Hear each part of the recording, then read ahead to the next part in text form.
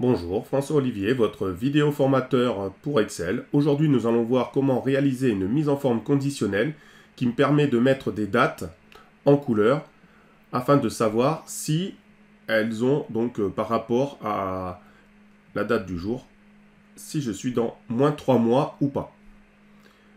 Alors, voici des dates ici, et déjà je veux savoir euh, quelle est la date du jour. Donc, je vais marquer ici date du jour. Et dans la cellule, ici, pour la date du jour, je vais utiliser le raccourci CTRL plus point virgule, donc CTRL point virgule ou CTRL point virgule. Et on est le 18-10-2020. Donc ici, j'ai les dates et je souhaite savoir quelles sont celles qui sont par rapport à la date du jour à une échéance de moins 3 mois. 3 mois avant, j'aimerais que ces dates passent en rouge afin de savoir par exemple euh, que je dois mettre euh, en route une procédure ou ce genre de choses 3 mois avant l'échéance. Alors, on va utiliser d'abord une première formule simple en se basant en disant, euh, on va partir sur le principe que 3 mois, on dit c'est 90 jours. Ce qui est faux, et on verra que du coup, c'est pas tout à fait... il y aura des moyens un peu plus justes grâce à des fonctions d'être plus proche de la réalité.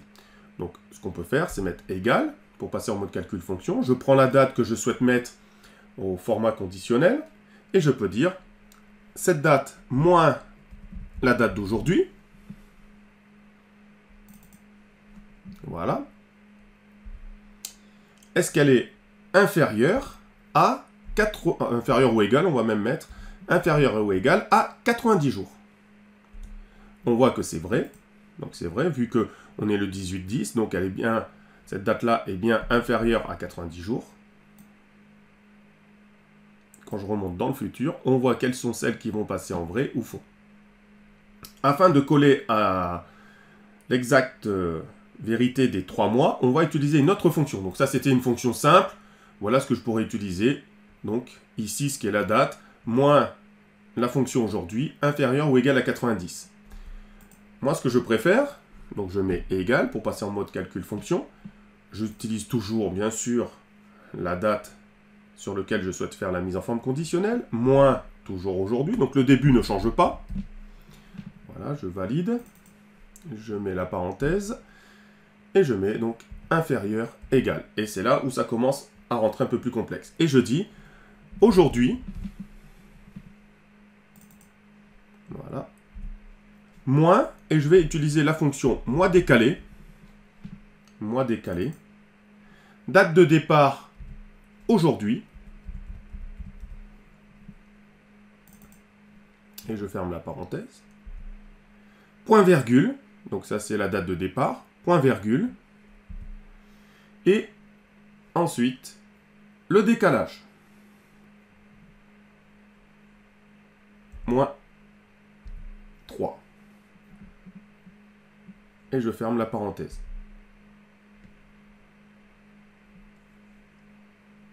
Alors j'ai une parenthèse de trop, voilà. Et je valide. Il me dit vrai, et si je fais glisser, voilà. Et là, vous voyez la différence. À un jour près, nous avons donc un écart.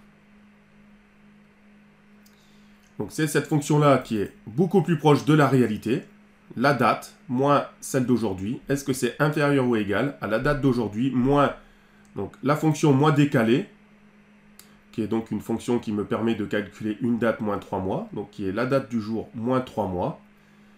Et du coup, ça me permet d'être exactement au calcul des 3 mois. Et vous voyez que un jour près, je peux avoir un petit écart. Donc si je veux être précis, voilà la fonction. Si je souhaite être je dirais approximatif, je peux utiliser le système de 90. Et donc si je prends cette fonction, je la copie. Voilà. Donc je la copie. Je vais sélectionner mes dates, toutes les dates que je souhaite appliquer cette mise en forme conditionnelle. Dans l'onglet accueil, je cherche mise en forme conditionnelle. Je clique dessus. Je vais chercher une nouvelle règle. Voilà. Je vais utiliser une formule pour déterminer pour quelle cellule le format sera appliqué je clique dedans, je mets ma formule. Je peux, donc si je souhaite, mettre un petit format remplissage en rouge. Je mets OK. OK. Et vous voyez les cellules qui passent. Et si je souhaite voir les autres en vert, mise en forme conditionnelle, nouvelle règle, utiliser une formule pour déterminer. Je mets la même formule, sauf que cette fois-ci, j'enlève le inférieur ou égal et je mets strictement supérieur. Et je peux mettre comme remplissage du vert. Je valide, je valide et vous voyez. Et du coup, je peux sans problème, si je souhaite, mettre ici le 18 janvier 2021. Toujours faux. Et si je passe au 19, voilà. Cette fois-ci, ça passe bien vert. Je vous remercie et avant de vous quitter, revoici la formule donc simple pour calculer approximativement 3 euh, mois avant la date du jour pour la mise en forme conditionnelle avec ce système de la règle des 90 en disant que 90 jours ça fait 3 mois. Si je vais être un peu plus exact et précis dans ma formule, dans ce cas-là je vais utiliser celle-là avec mois décalé et le moins 3 pour dire moins 3 mois. Merci encore et je vous dis à très bientôt pour une nouvelle vidéo formation sur Excel.